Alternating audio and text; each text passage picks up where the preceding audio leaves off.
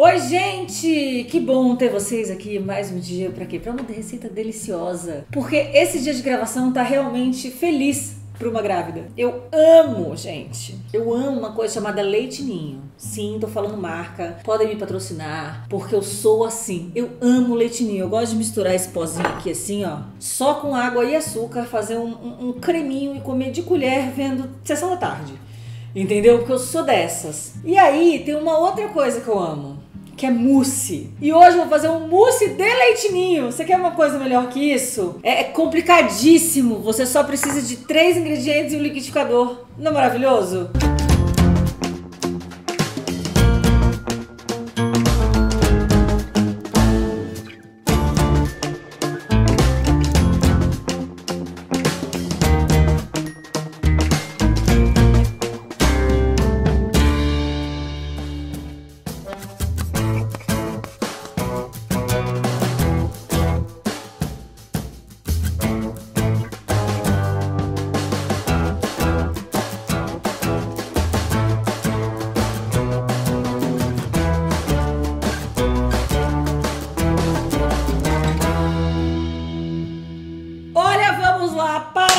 Receita fácil, prática, rápida. A primeira coisa que a gente vai fazer é pegar aqui, ó, uma gelatina sem sabor e vamos hidratá-la. Como é que a gente hidrata esse negócio? A gente mistura em 5 colheres de água. Deixa ela hidratando aqui assim, ó, bonitinha.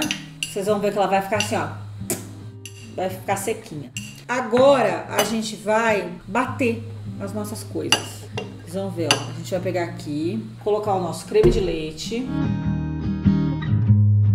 Ó, agora eu vou colocar o leite condensado. Aqui tem uma lata e meia de leite condensado, três caixinhas de creme de leite e acho que uma xícara e meia de leite ninho. Mais a descrição tá aqui embaixo, tá? Então fica mais fácil para vocês acompanharem. E o leite em pó, que é o leite ninho. Porque leite em pó não é igual leite ninho, gente, desculpa.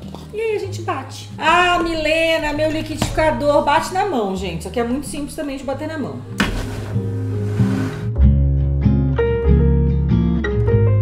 Vou soltar um pouco aqui a lateral, só para facilitar a vida aqui assim, um pouquinho.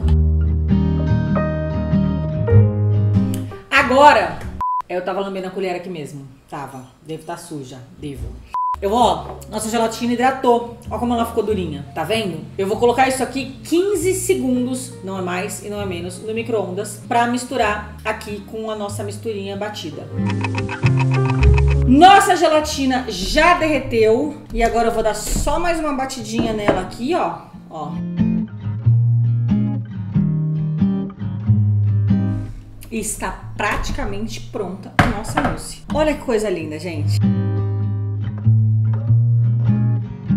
Você pode colocar ela em potinhos unitários, você pode colocar numa travessa bonita assim. Você pode colocar onde você quiser. E agora ela vai ficar pelo menos umas 4 horas na geladeira. E eu vou mostrar pra vocês como ela fica ruim. Claro que para facilitar a nossa vida, eu não vou fazer minha equipe ficar 3 horas, 4 horas esperando uma mousse gelar. Eu já tenho uma aqui, ó, prontinha para vocês.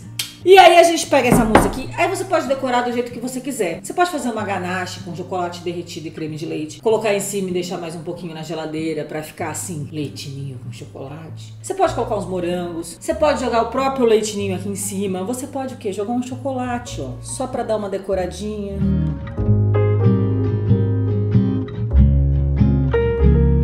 E vamos para a melhor parte desse vídeo.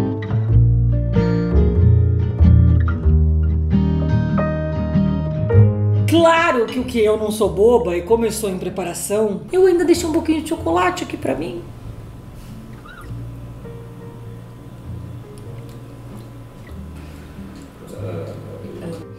Hum! Vocês querem? A minha sorte é que eu vou ficar com dois em casa. Esse é o que eu coloquei na geladeira, entendeu? E se eu te falar que amanhã não vai ter mais, você não vai acreditar. Eu não sabia o quanto isso era bom.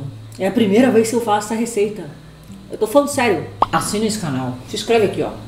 Se inscreve. Aciona o joinha, o sininho. Só que merece todos os sinos de todas as igrejas mais badaladas do país para avisar com essa receita. Até a próxima receita. Espero vocês aqui. Até. Beijo.